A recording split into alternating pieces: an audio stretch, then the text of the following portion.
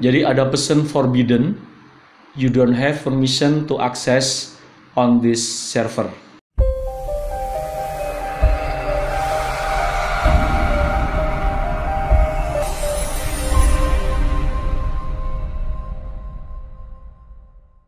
Assalamualaikum.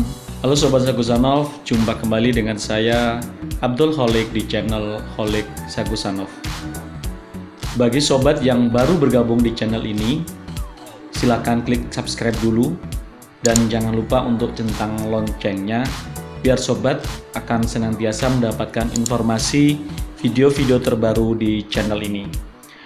Oke sobat, saya akan melanjutkan satu posting dari video terakhir di mana kita telah membuat web server dan ada beberapa pertanyaan di kolom komentar eh, manakala setelah install web servernya tidak bisa dibuka.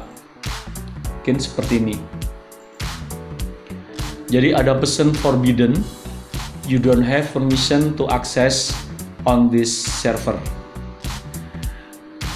Untuk mengatasi permasalahan ini sobat, kita bisa buka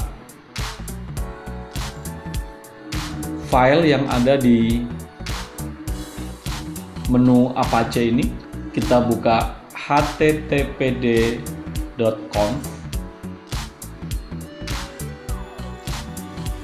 Oke, di file ini kita akan cari kata deny. Silakan tekan Ctrl F dan dimasukkan kata deny.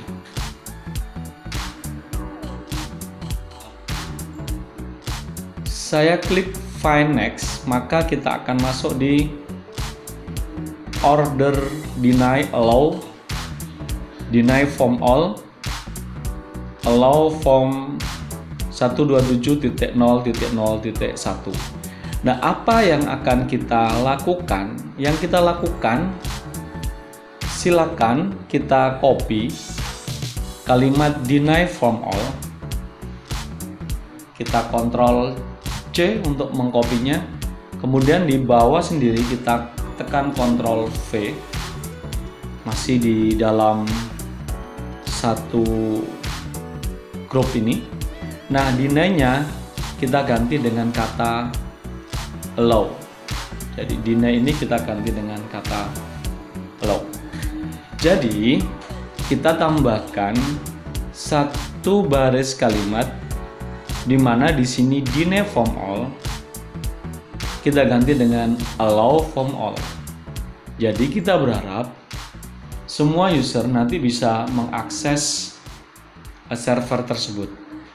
Kemudian jika sudah, kita bisa copy allow form all ini untuk kita letakkan di deny form all yang lainnya. Oke, kita cari deny form all yang lain. Nah, ini kita kasih allow form all kemudian kita coba cari lagi name form all kita kasih low form all seperti ini kemudian untuk melihat hasilnya ini bisa kita tutup. Kita close. Kemudian yang ini juga kita close. Kita akan uh, ada satu dialog box untuk ditanyakan apakah mau disimpan. Kita jawab save. Oke. Okay. selanjutnya jangan langsung di refresh karena masih belum memberikan efek konfigurasi yang sudah kita update tersebut. Yang kita lakukan adalah kita perlu melakukan restart dari WAM server yang kita miliki.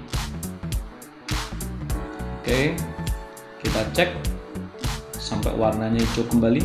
Kalau sudah hijau kembali, ini bisa kita coba refresh dan semua berjalan dengan baik. Demikian tips kali ini sangat mudah bukan?